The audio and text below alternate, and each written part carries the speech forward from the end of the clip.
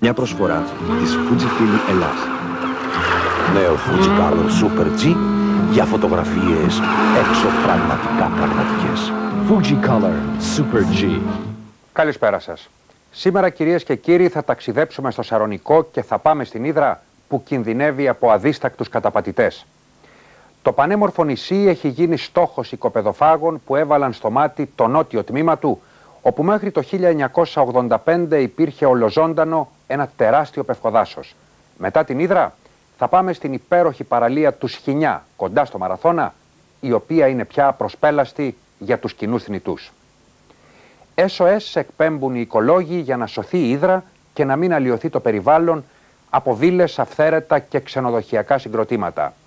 Εκεί που πριν από εννέα χρόνια τρεις άνθρωποι κάηκαν ζωντανοί προσπαθώντας να σβήσουν την τεράστια πυρκαγιά, τώρα η απειλή του τσιμέντου είναι άμεση. Ο Γιάννης Καφάτος πήγε στην Ήδρα και καταγράφει την αυθαιρεσία εν τη γενέση της.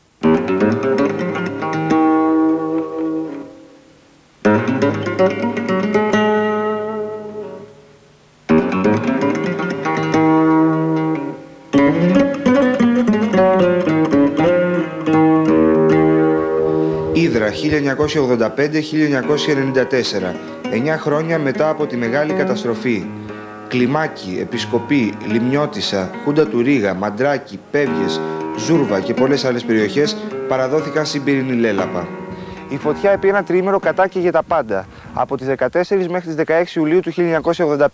Στις 15 Ιουλίου η φωτιά είχε φτάσει εδώ στην περιοχή του Αγιάννη της Νησίζας. Τότε τρεις νέοι από τους χιλιάδες τότε που βοηθούσαν προκειμένου να σβηστεί η φωτιά, εκ των οποίων μάλιστα οι δύο δεν ήταν από την Ήδρα, κυριολεκτικά έδωσαν τη ζωή τους προκειμένου να σωθεί η εικόνα του μοναστηριού. Πρόκειται για τον 27χρονο Δημήτρη Τζοφόλη, τον 18χρονο Σπύρο Χρήση και τον 23χρονο Ηλία Παρίσι.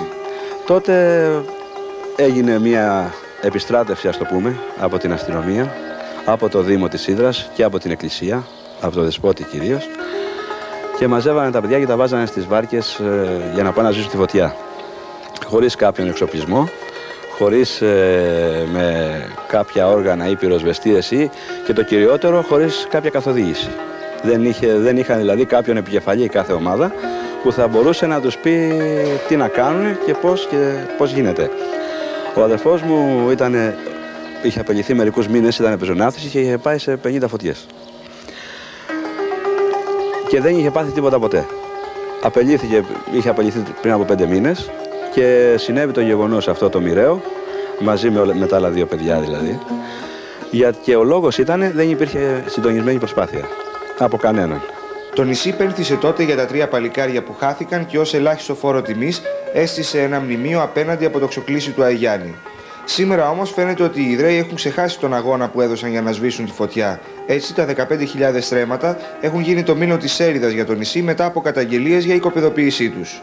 Η έκταση αυτή ήταν και είναι δασική. Το θέμα είναι ότι κάποιοι πώλησαν και κάποιοι αγόρασαν μετά από το 1985 όπως φαίνονται από τα συμβόλαια που είναι καταδεθειμένα στο συμβολογραφείο της Ήδρας και στο υποθηκοφυλακείο της Ήδρας μπορείτε άνετα από τους αριθμούς των συμβολέων, από τις ημερομηνίες κατάθεσης να δείτε ποιοι είναι αυτοί και πώς αγόρασαν. Το τραγικό είναι και πρέπει να επέβει ο εισαγγελέας ένα συμβόλαιο κληρονομητήριο που ξεκίνησε με 20 στρέμματα και με 10 περίπου κληρονόμους.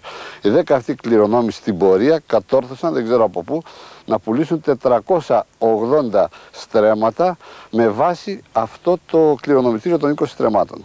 Όλα τα χαρτιά υπάρχουν στο υποθηκοφυλακείο της Ήδρας. Δεν υπήρχε διαμαρτυρία μέχρι τώρα, διότι δεν επρόκειτο, δεν πώλησαν γη γειτόνων ώστε να κάνουν διαμαρτυρία οι γείτονοι, αλλά κρατική γη. Και περιμένουμε να επέβει ο εισαγγελέας, γιατί αυτός ο τόπος αξίζει να σωθεί. Η Ήδρα είναι ένας μοναδικός τόπος, πόλο έλξεως ποιοτικού τουρισμού. Φέτος, μάλιστα, εξαιτίας της γενικότερης ποιότητας και της επιστροφής της Ήδρας στο Υπουργείο Πολιτισμού, την ασφάλεια που δημιουργεί η επιστροφή της Ήδρας στην προστασία των αρχαιολόγων, θα έχουμε νέο κύμα τουριστών. Και το νησί πρέπει να είναι έτοιμο να τους υποδεχθεί, χωρίς τις πληγές του παρελθόντος.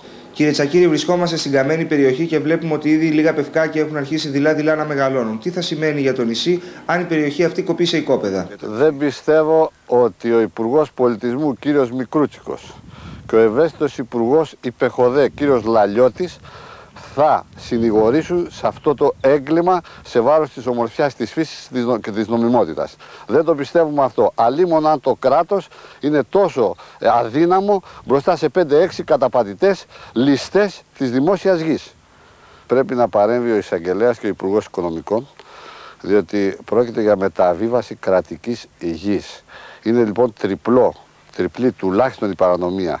Αναδασωτέα περιοχή που κηρύχθηκε αναδασωτέα έγιναν παράνομα συμβόλαια από το 85 και μετά που κάηκε.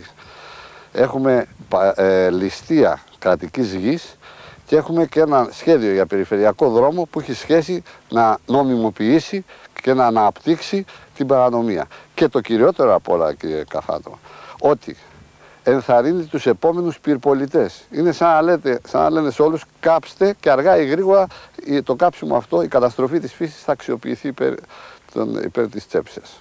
Ο Σύλλογος έκανε πολλές αναφορές στο Δημοτικό Συμβούλιο και καταγγελίες για αυτή την υπόθεση. Το ΔΕ Δημοτικό Συμβούλιο αρνήθηκε τις εξετάσεις.